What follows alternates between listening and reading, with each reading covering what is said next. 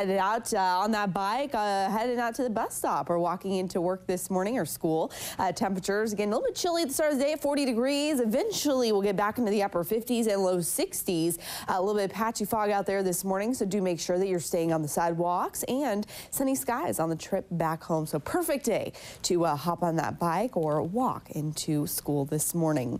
44 degrees again as those temperatures uh, continue to climb this morning. 45 in Roseburg. Head out to the coast. Same story for you. Low to mid 40s there. A little bit cooler as you head over to Central Oregon. Mid 30s for you. Also seeing mid to upper 30s as you head over to the eastern side of the state. That storm that moved through yesterday is all the way down in Nevada this morning. So uh, a little bit of patchy fog, some low clouds over in Central Oregon. That's about it. As soon as we burn through this fog this morning, we will get back to those sunny skies.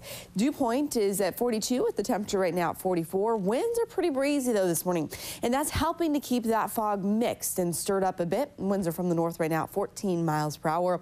Visibility being affected just a touch at this hour down to about 9 miles. Typically it's at about 10 miles. So again, that area of low pressure now moving on to the east. Replacing it is high pressure. That's going to move in off from the Pacific.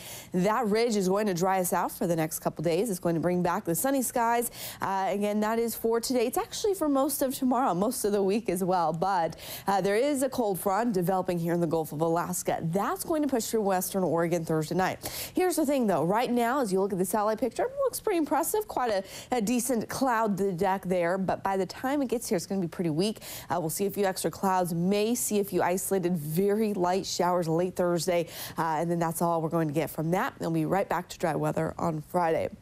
You can see, actually see how this all Times out here on Precision Cast this morning. Still seeing that fog developing right here in the southern Willamette Valley and up and down the I-5 corridor.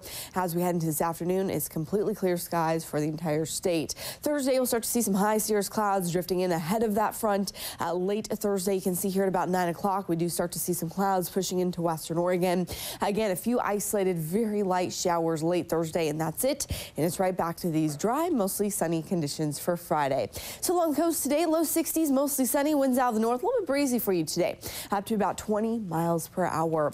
Again, those clouds increasing Thursday may get a few sprinkles late in the day. Dry Friday. We have another opportunity Saturday afternoon, evening for a few uh, rounds of sprinkles again. Again, not uh, all that impressive then either. And then it's right back to dry, even warmer conditions as we head into early next week.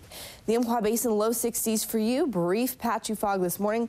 Otherwise sunny as we head into this afternoon. You also see those sunny, dry conditions on Thursday back up to 65. And then early next week, those temperatures continue to climb back into the upper 60s. For the Cascades, we did see some snow up there yesterday, some icy roadways this morning. But by this afternoon, it's back to the mid 40s. Snow level already at 5,000 feet. Central Oregon low to mid 50s for you under mostly sunny skies. Still below freezing the next couple of nights, just barely though. Otherwise dry and mostly sunny all the way through early next week. And for the valley, it's low 60s today. Brief patchy morning fog, afternoon sunshine. Back down into the upper 30s again tonight. Thursday, mostly sunny, mostly dry. A few high clouds. Could see a little bit of drizzle late in the day. Otherwise, continuing to stay pretty quiet through the weekend, through early next week. And those temperatures do get back into the mid 60s.